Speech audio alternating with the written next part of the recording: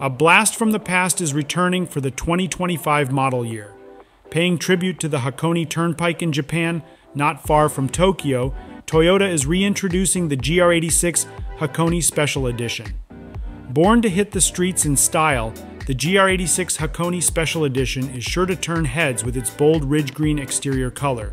Built off the GR86 Premium grade, the Hakone Special Edition will have a choice of a 6 speed manual or automatic transmission and will be powered by a 2.4 liter, four cylinder boxer engine generating 228 horsepower and 184 pound feet of torque.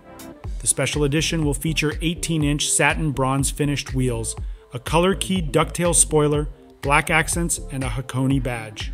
On the inside, customers will find ultra suede sport seats with tan leather trim and stitching. A Hakone Special Edition shift knob with bronze accents sits front and center, and a GR Special Edition plaque adds to the unique look and feel. Brembo brakes and Sachs dampers come standard on the Hakone Special Edition, providing a stellar driving experience with industry leading features. There will only be 860 units produced for the United States market for 2025.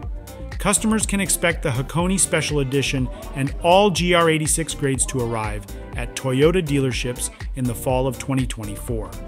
The manufacturer's suggested retail price for the GR86 Hakone Special Edition and the complete GR86 2025 lineup will be shared later this year.